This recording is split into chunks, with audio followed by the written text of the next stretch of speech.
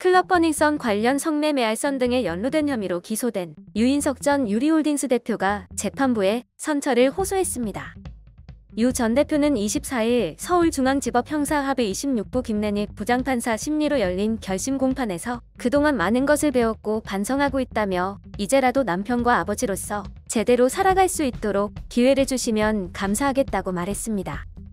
유 전 대표의 변호인 역시 피고인은 사건 발생 이후 보도와 댓글로 피고인과 배우자도 비난 대상이 됐고 현재까지 가족이 함께 외출도 못하고 있다며 사실상 피고인이 창살 없는 감옥에 오랜 기간 살고 있는 점을 재판장이 고려해달라고 요청했다. 유 전 대표는 2017년 유명 배우와 결혼식을 올렸습니다.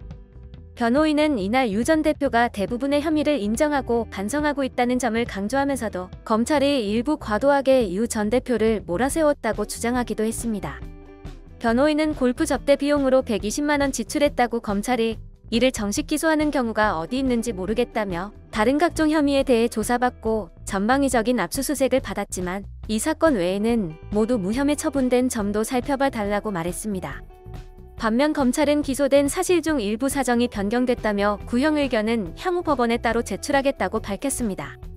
유 전 대표는 그룹 빅뱅의 전 멤버 승리와 함께 2015에서 2016년 외국 투자자에게 성매매를 알선한 혐의로 재판에 넘겨졌습니다. 그는 클럽 버닝썬과 유착한 의혹을 받는 경찰총장 윤규근 총경과 골프를 치면서 유리홀딩스 회사 돈으로 비용을 결제한 혐의도 받았습니다. 지난 6월 유인석 전 유리홀딩스 대표는 재판에서 모든 혐의를 인정했습니다. 유 전 대표의 변호인은 3일 서울중앙지법 형사합의 26부 심리로 열린 이래 공판에서 혐의를 모두 인정하며 실질적인 가담 정도나 양형에 참작할 사유 등을 정리해 의견서로 제출하겠다고 밝혔습니다. 변호인은 다만 유 전 대표의 유리홀딩스 자금 횡령 혐의에 대해서는 사실관계를 인정하면서도 법리적으로 검토할 부분이 있다며 구체적인 의견은 향후 재판에서 밝히겠다고 덧붙였습니다. 유 전 대표는 경찰 수사를 받던 지난해 5월 구속영장이 청구됐으나 기각돼 불구속 기소됐습니다. 승리와 유 전 대표의 혐의는 지난해 초 불거진 버닝썬 게이트 사건 수사 도중 이 클럽 관계자들을 조사하는 과정에서 드러났습니다.